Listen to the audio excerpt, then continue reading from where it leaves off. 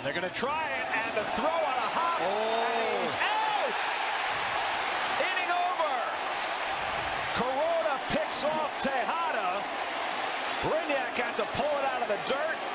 The second base umpire, Adrian Johnson, looked like he was about to call him safe, and then he punches out Tejada, who's picked off to end the bottom of the sixth.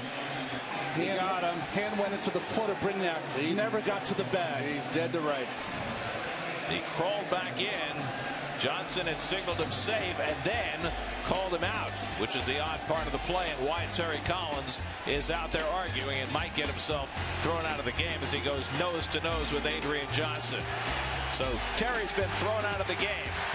1 nothing Yankees as we go to the seventh as the argument continues.